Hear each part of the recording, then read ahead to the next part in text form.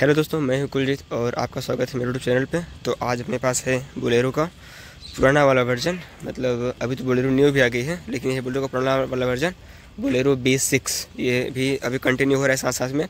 तो जो ये गाड़ी अपने सामने खड़ी है, ये आती है तीन वेरियंट में B four B six B six optional मतलब अपने पास जो है बी सिक्स ये है अपना मिड वेरियंट जो कि अभी भगवती फ्रंटलाइन मोटराइजर बैठन में कितने पड़ेगा आपको? दस लाख रुपये एक शोरूम तो इस दस लाख एक शोरूम में आपको इस गाड़ी में क्या क्या मिलता है, आज हम उसी के बारे में डिटेल में बात करेंगे।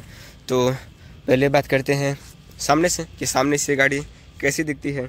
तो सामने से गाड़ी ऐसी ऐसी मतलब ये देखो, सामने ये कुछ इसकी ऐसी ग्रिल देखने को मिलती है। महिंद्रा कन्यू बटरफ्लाई वाला लोगो, ये दो डंडियाँ सिल्वर की हैं, बाकी पूरा पूरा ये ब्लैक में है। और उसी के साथ में टी वाला हॉर्न अंदर में देखने को मिलता है। और उसी के बाद ये बम्पर इसमें जो टॉप एंड वेरिएंट होता है बेसिक्स ऑप्शनल उसमें आपको फॉग लैंप देखने को मिलेगा, लेकिन इसमें फॉग लैंप आपको नहीं मिलता है। इसको आपको बाहर से डलवाना पड़ेगा। बस, इसमें ज़्यादा कुछ मिलता नहीं है।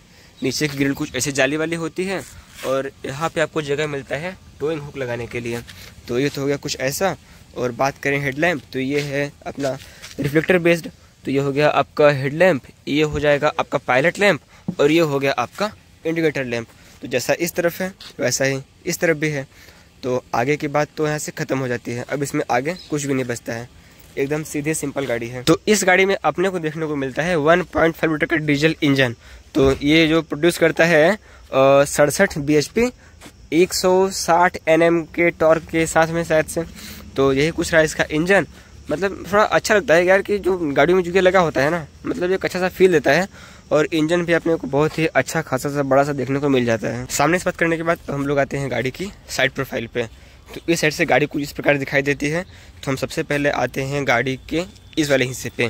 तो आपको मिलता है फिंडर पे इंडिकेटर और जो काले वाली पट्टी है, ये आपको आगे से पीछे तक देखने को मिलती है, जो कि बहुत ही मतलब प्यारा सा प्रोवाइड करती है। और उसके बाद अगर बात करें हम इस गाड़ी के टायर साइज़ की तो ये कितना है? दो सौ पंद्रह, पचहत्तर, आर पंद्रह। मतलब इसमें क्या लगा है ना? पंद्रह इंच के टायर्स इसमें लगते हैं। और बात करें इसमें ब्रेक्स तो आगे इसमें होता है डिस्क ब्रेक और पीछे इसमें होता है ड्रम ब्रेक। बात करें सस्पेंशन तो इसमें आगे देखो, ये होता है सॉकर और पीछे की बात करें तो पीछे इसमें क्या होता है, ये लिफ स्प्रिंग्स होती हैं पीछे। तो ये हो गया इसका सॉकर का हिसाब किताब। उसके बाद ये होता है आपका साइड मिरर, जो कि आपको मैनुअली इस प्रकार से ऐसे एडजस्ट करना पड़ेगा और ये आपका मिलता है बॉडी कलर में। उसके बाद ये हो गया आपका डोर हैंडल बहुत अच्छी सी फिनिश है। ये ब्लैक और सिल्वर का जो मिक्सचर है ना मतलब बढ़िया लग रहा है। और उसी के साथ ये फुट स्टेप गाड़ी ऊँची है तो चढ़ने की ज़रूरत चाहिए। और उसके बाद अगर हम पीछे आएँ तो पीछे आपको देखने को मिलता है यहाँ पे बुलेरो बी सिक्स की बैजिंग ये एयर वेंटिलेशन के लिए जगह। और जो ये वाले ढक्कन है ना, इस ढक्कन में ये कन्फ्यूज़न होता है कि इस, क्योंकि क्या है, इस वाली गाड़ी में एक ढक्कन इस तरफ़ है और एक ढक्कन आपको मिलता है इस तरफ़ में। तो दोनों में, अंतर पता है क्या है? जो ये वाला ढक्कन है इसमें डलेगा डीजल इस तरफ़ से। और अगर हम बात करें इस वाला ढक्कन की तो ये वाला ढक्कन में डलेगा यूरिया मतलब डीएफ, ठीक है? तो जो ये वाला ढक्कन है, इसको खोलने के लिए पहले आप इसको खोलेंगे और आपको इस सीट के जस्ट पीछे, ये दिख रहा है ये लीवर ना, आपको इसको खींचना पड़ेगा। जिसे इसको खींचेंगे, ये देखो, ये आपका ये ढक्कन खुल जाएगा। और बात करें कि आपका जो ये वाला ढक्कन है ये ढक्कन कैसे खुलेगा? तो इस ढक्कन को खोलने के लिए आपको इस दरवाजे को पहले अनलॉक करना पड़ेगा और उसके बाद फिर जो ये वाला दिख रहा है ना पेट्रोल वाला, इसको आप जब खींचेंगे, तब आपका खुल जाएगा ये वाला ढक्कन। और इसमें आप डलवा लेंगे डीजल। और इसमें डलता कितना है डीजल? इसमें डलता है साठ लीटर। मतलब इसका टैंक जो है ना, बहुत बड़ा है। जो अपने पास इधर एक्स और बुलरो नियो हो गई और आपकी वो स्कॉर्पियो एन हो गई उन सबसे तो मुझे बड़ा ही लगा, क्योंकि उसमें संतावन अंठावन, पचास ऐसे। लेकिन इसमें भाई साठ लीटर का डीजल का टैंक है मतलब दमदार बात है। बात करने इस साइड की भी लगे हाथों कि अपने को उस साइड क्या मिलता है। तो इस साइड मैंने बताया, वो ढक्कन मिल गया, बाकी सब कुछ सेम वही साइड मिरर वही इंडिकेटर एक चीज़ एड ऑन होती है, वो क्या है? इसमें ये आपको मिलता है एक एंटीना बस इसमें एक ही चीज़ एड होती है, बाकी सब कुछ सेम है। साइड प्रोफ़ाइल के बाद अब आते हैं, गाड़ी की रियर प्रोफ़ाइल पे। तो रियर से गाड़ी कुछ ऐसी दिखती है।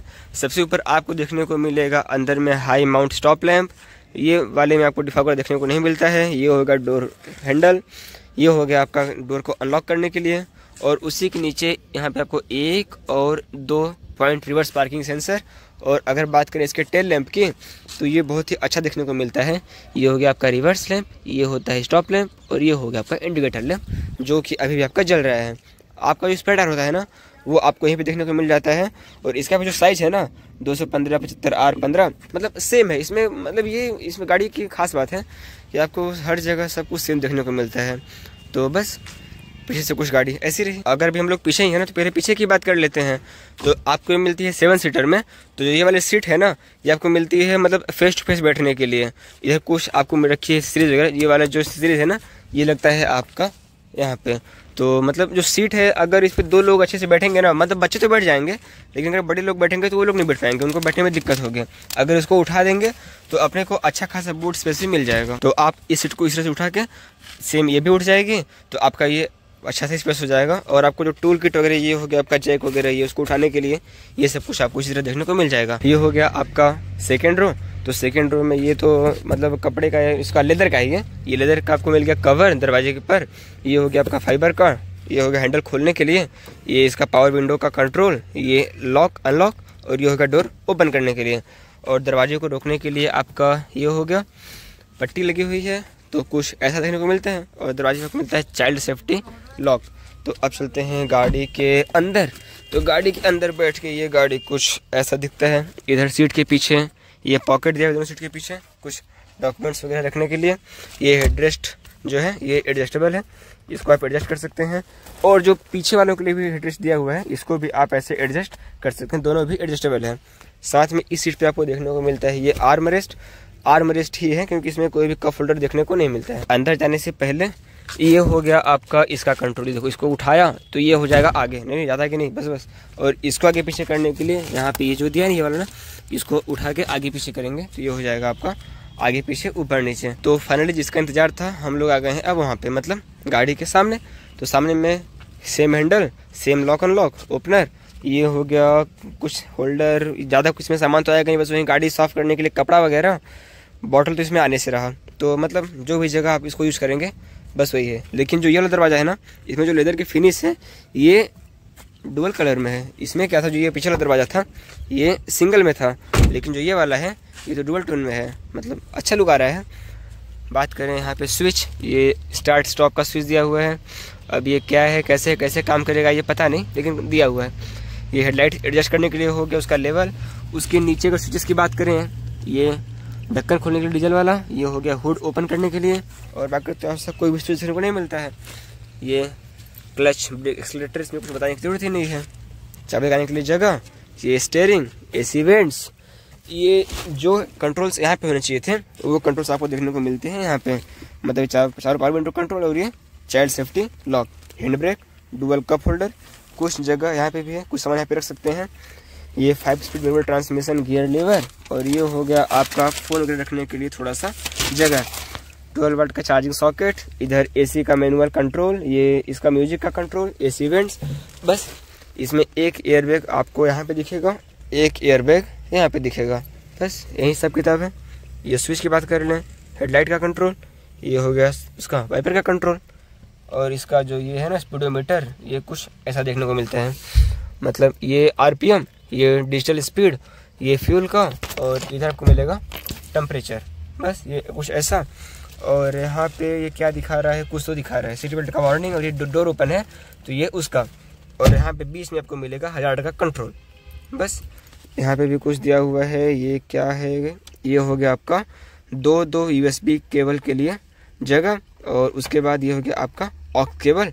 और यहाँ पे आपका शायद से है कि यहाँ पे आपका एसडी कार्ड लगेगा। बस बाकी तो ऐसा इसमें कुछ भी नहीं है।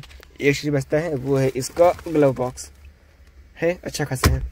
उसके बाद ये इसका I R V M manually adjustable ये हो गया आपका टिकट होल्डर टिकट होल्डर में कुछ पट्टी तो है नहीं मतलब इसको बस इसमें रखें, इसको वैसे घुसा दिया। इधर वैनिटी मिरर वैनिटी मिरर गायब हो गया? ये क्या? ये तो गजब मज़ाक है। और ये हो गया आपका बात करने के लिए माइक के लिए जगह। बस, बाकी तो खत्म। तो दोस्तों, ये थी अपनी बोलेरो बेसिक्स। हमने आज किया इसका डिटेल में रिव्यू। आपके साथ में कि 10 लाख में ये गाड़ी आपको क्या क्या प्रोवाइड करवाती है। तो ये वीडियो आपको कैसी लगी, कमेंट में ज़रूर लिखिएगा। अगर वीडियो अच्छी लगी, वीडियो को लाइक कर लीजिएगा। अगर आप चैनल पर नए हैं तो सब्सक्राइब करना बिल्कुल मत भूलिएगा। हमारी फैमिली जितनी बड़ी होगी, उतना ही हमें वीडियो बनाने में मज़ा आएगा। तो सब्सक्राइब करना बिल्कुल मत भूलिएगा। मिलते हैं जल्द ही किसी अगली वीडियो में।